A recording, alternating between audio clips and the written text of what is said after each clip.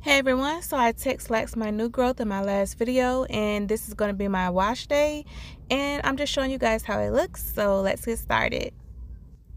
So I gelled my hair up into a bun and I wore it like this for an entire week. This was such a quick and easy protective hairstyle but now it's time to take it down and it's time for wash day. This is the shampoo and conditioner that I'm going to be using for today's wash day and I made sure to shampoo my hair twice because of the gel that was in my hair.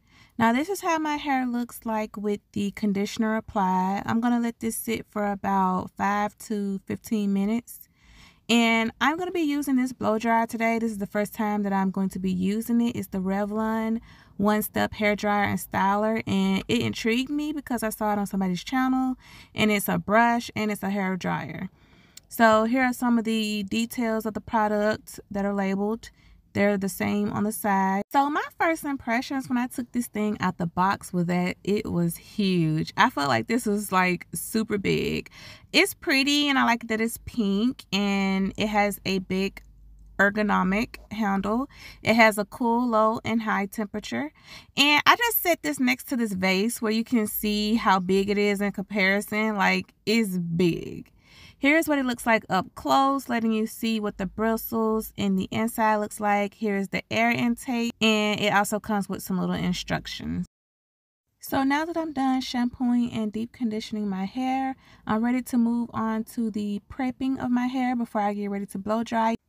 The shampoo and conditioner did a good job of making my hair feel soft and moisturized. So my bald spot is still here and I'm working on it. My black Jamaican castor oil finally came in the mail. So I'm just going to put a little on this area and massage it in really good. Try to do this a few times a week. And now I'm going to get ready to detangle my hair.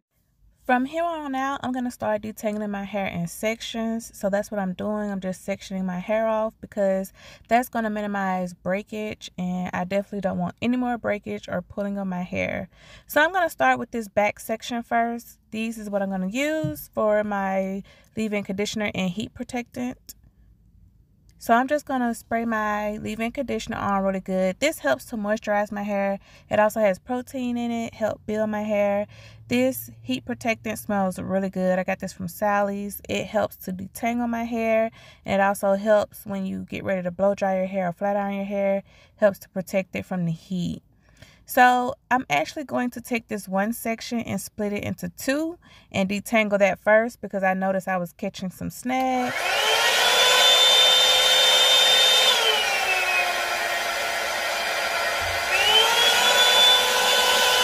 So I'm just putting this in front of my face to show you that it has a pretty good blower on it.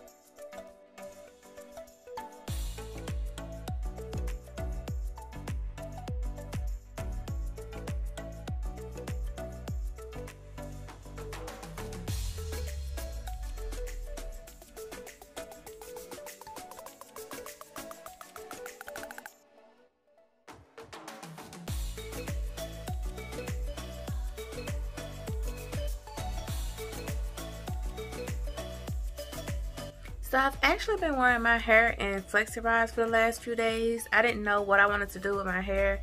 But um, since I had already wore it in a bun last week, I decided to leave my hair loose and do a heatless style like this right here. So this is what my curls are looking like. The curls are tight right now, but they'll fall um they'll fall by tomorrow. That's why I like to make mine really tight at first. It's like it'll make it last the whole entire week because each and every day is gonna fall and fall and fall, and then it'll just look it'll just really look like a pretty curly hairstyle. I was thinking about other protective hairstyles and low manipulation hairstyles that I could do. I was thinking about um using like I got some clip-ins. So I was thinking about incorporating some clip-ins. But the only thing I don't like about, like, I really don't like wearing my hair down in the winter in the colder months. Like, with the Flexi Rods, I don't mind as much because when your hair is curly, it makes it shorter than normal. So if I flat iron my hair, my hair would be hanging down here, rubbing against my jacket. But um, with the Flexi Rods, it's kind of like up in the air, so it doesn't rub against my clothes as much. But like as far as the clip-ins, like all my hair would be down and it'd be rubbing against my jacket and my coat. So then I was kind of like thinking maybe not clip-ins right now until the weather warms up. And then I was thinking about maybe like doing some wigs, but at the same time I like my hair to be out.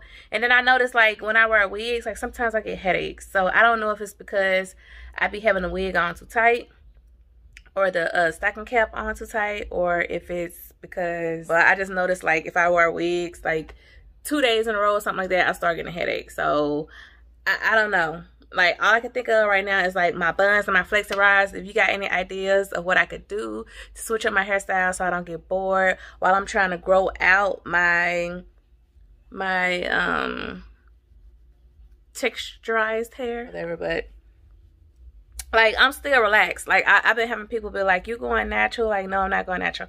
I'm still relaxed. I'm just not relaxing bone straight. So that's the only difference. Like on the on the wash days coming up, I'm gonna be doing a hot oil treatments. I'm gonna be doing. I also bought me a semi-permanent. Um, it's not a. A lot of people get confused about that because like permanent alters your hair semi-permanent just deposits color on your hair. So it's like it's like if i write on my my um hand with a sharpie it's gonna be that black mark for a few days but the more that i wash my hand it's just gonna fade away. So that's the same thing semi-permanent. It's just like it's a strong it just deposits color and then it fades away with each, with each wash.